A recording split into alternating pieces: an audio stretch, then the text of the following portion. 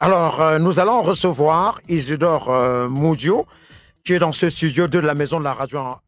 Martinez Zogo, célèbre lanceur d'alerte et animateur camerounais, est décédé, une nouvelle redoutée depuis sa disparition le 17 janvier 2023. De nombreuses rumeurs avaient alors circulé sur un probable enlèvement. Le 20 janvier, une sortie du ministre de la Communication René Emmanuel Sadi, par ailleurs porte-parole du gouvernement, annonçait une enquête ouverte pour retrouver l'un des animateurs les plus virulents du paysage médiatique camerounais. Son corps sans vie retrouvé ce dimanche 22 janvier en de la presse en émoi. Dans un communiqué, le syndicat national des journalistes du Cameroun condamne ce qui apparaît désormais comme un assassinat et exige une mobilisation de la force publique pour donner une réplique appropriée par des enquêtes rigoureuses. Après Jules Nkoumkoum, Bibi Ngota, Samuel Ouazizi, l'espace médiatique camerounais vient encore de perdre un de ses sociétaires, victime de la haine et de la barbarie humaine. Au-delà de ce confrère, nous sommes tous désormais vulnérables. Où sont passées la liberté de la presse, la liberté d'opinion, la liberté d'expression au Cameroun, car exercer dans un média fait encourir désormais un risque mortel. Une limite de trop a été franchie, c'est inacceptable. C'était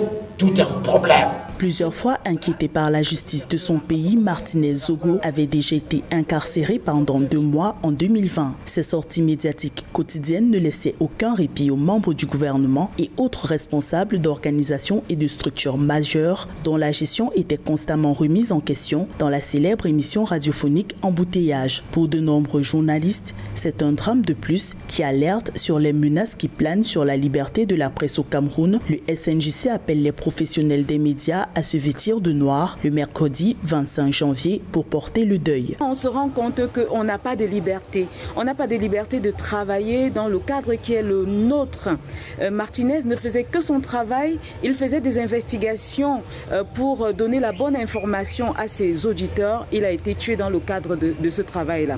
Maintenant, hormis Martinez, il y a d'autres cas qui ont été cités précédemment. On a Samuel Ouazizi il y a quelques mois. Je veux dire, il y a, quelques mois, donc il y a une année. Mais il y a aussi nous qui sommes sur le terrain, qui, euh, euh, recevons des menaces euh, presque quotidiennes. Tout comme le Camerounais Martinez Zogo, John Williams Ntwali, journaliste rwandais, est décédé le 18 janvier 2023 dans des conditions jugées suspectes par Human Rights Watch. Il a été percuté par un véhicule alors qu'il se trouvait sur une moto côté passager dans les rues de Kigali. Le rédacteur en chef du journal des Chronicles a souvent été interpellé et incarcéré pour ses sorties dissidentes en Kenya-Rwanda à travers sa chaîne YouTube Pax TV.